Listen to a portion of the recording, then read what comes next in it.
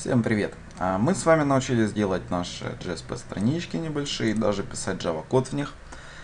А, Но есть один нюанс. А, Отличие, что мы можем делать в обычном сервлете. Мы можем получать доступ к сессии, мы можем получать доступ к респонсу, записывать что-то в записывать что-то в респонс, получать э, к реквесту и так далее.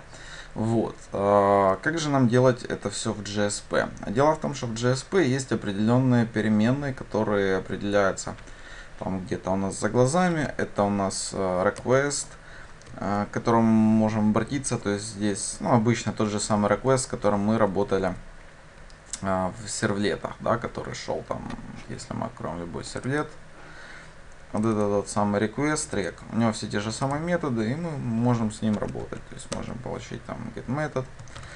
А дальше, дальше у нас есть э, сессия. То есть мы можем get атрибут, set атрибут, там все, все те же самые методы, которые у нас были с сессией. А, там что-то в этом духе. И на самом деле у нас есть еще несколько дополнительных интересных таких переменных. А, то есть вот респонс у нас есть, мы можем задавать какие-то э, статусы, то есть респонс, обычный респонс, тут же самое, как и обычно, то есть тоже мы туда что-то можем записывать, э, там можем статусы проставлять, там и так далее. Вот. Но помимо этого есть еще несколько интересных э, переменных, это application и config, с которыми мы тоже можем работать.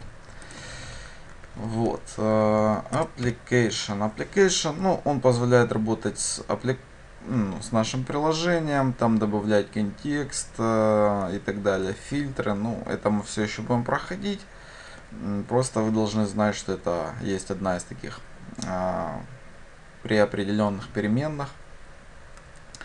А, вот. О всех этих фильтрах и контекстах мы еще поговорим обязательно. Будут отдельные уроки, пока что мы их не проходили, поэтому тут зацикливаться не буду. Вот. И еще у нас есть конфиг. Да. Вот. Но он тут тоже не особо много позволяет. То есть в основном параметры инициализации, сервлет контекст, за который я еще расскажу, сервлет name и так далее. Вот как-то так.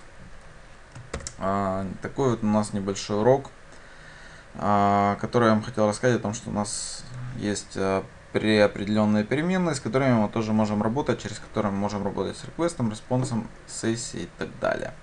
Ну, на сегодня все. Всем спасибо за внимание. Подписывайтесь, ставьте лайки. Всем пока.